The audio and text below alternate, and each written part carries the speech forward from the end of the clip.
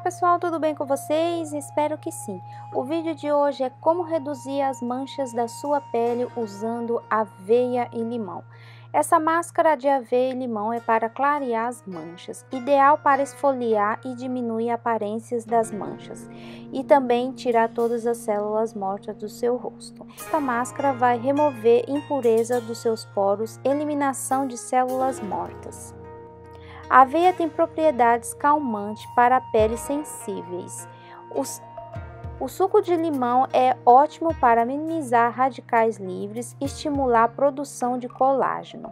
Então vamos aos ingredientes, o que, que você vai utilizar para fazer essa máscara para estar clareando a sua pele e também tirando todas as células mortas. Se você está chegando aqui agora e ainda não deixou seu gostei, não esqueça de deixar o seu gostei, comentar, compartilhar e se inscrever no canal se você ainda não é inscrito. Vamos aos ingredientes. Bom, você vai utilizar uma colher de aveia, pode ser qualquer tipo de aveia que você tiver, farinha ou flocos, tá? Aí você vai colocar uma colher de suco de limão. Depois de você colocar o suco de limão, você vai misturar bem. Misturou bem, você vai vir com a água gelada, se você tem uma pele oleosa. Se você tem uma pele muito seca, extra seca, eu recomendo você colocar uma colher de leite no lugar da água, tá bom?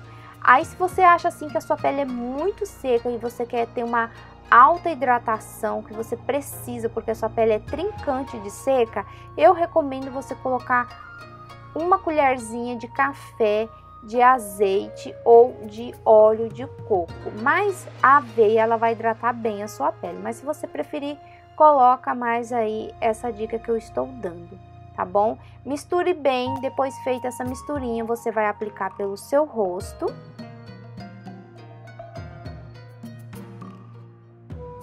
Aplicando no seu rosto, você vai fazer um movimentos circulares para estar removendo todas as células mortas tá?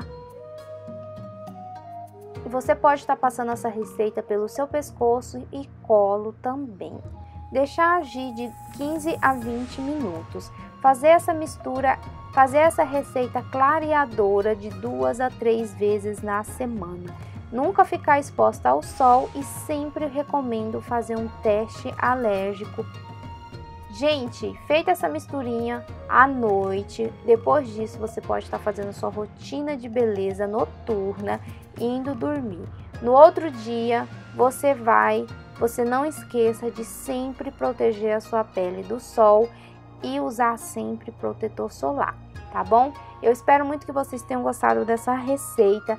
Se você gostou, não esqueça de deixar o seu gostei, comentem aqui o que vocês acharam dessa misturinha e deixe a sua sugestão de vídeo que é muito importante. Fiquem todos com Deus e até o próximo vídeo. Tchau, tchau!